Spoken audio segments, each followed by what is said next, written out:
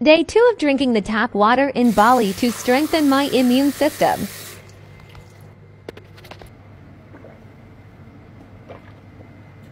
this dumbass TikTok trend in Bali where people are like, day one of drinking Bali water, day two of drinking Bali water, with the goal of building up an immunity to the water in Bali. And I want to tell you why that's a really dumb idea. The water is very bad for you.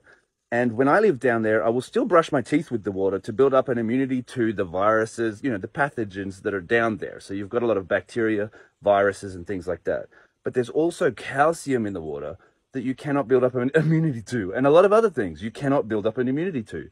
All of the stuff in the pipes that are down there, and, and it just erodes off the pipes and goes straight into your body. It will make you sick, it will give you Bali belly. So you want that little immunity, but don't be drinking it every day, big glasses, you're gonna get sick.